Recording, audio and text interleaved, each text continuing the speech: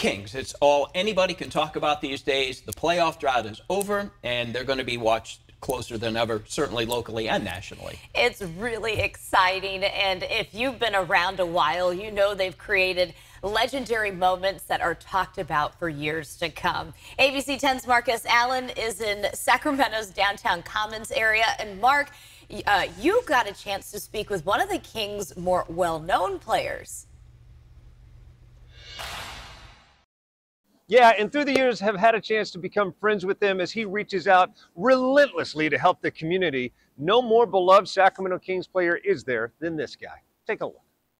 Number 21, Harold Pressley. Harold Pressley, not just Sacramento Kings famous, he's basketball history famous, having been a part of the greatest upset in NCAA history. Harold Pressley. Soon thereafter, joined the Kings. After playing, made Sacramento his permanent home. Since retiring from the NBA, he's dedicated much of his life to charitable outreach, helping underserved youth, now helping refugees and others find a pathway to a diploma and citizenship. As the Kings gear up for the playoffs, I thought I'd get his unique big picture perspective. Is your phone blowing up and your social media blowing up? People asking you, how are we going to do this time? My phone is blowing up because people are calling asking me to get them tickets. I need tickets. What's the best thing about being a Sacramento King? Oh, this is so simple the people, the people of Sacramento are so wonderful. I knew from the first time, 1986, when I got off the plane, before I got back on the plane to go to Villanova, I said I was going to live in Sacramento for the rest of my life.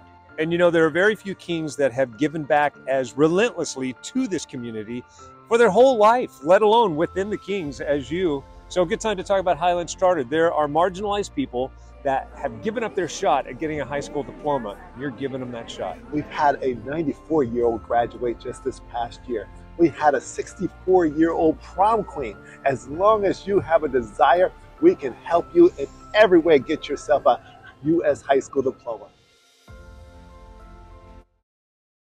And there he is, Look how passionate he is talking about helping other people. By the way, if you want a gateway to helping someone that might need to get their high school diploma, I'll link you towards his scholarship program.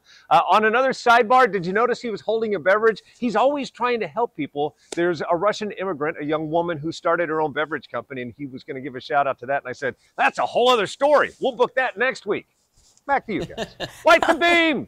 yeah, we want to see them light the beam, and they may do it for sure on Sunday when they play the Spurs. All right, Mark S. Allen, thank you.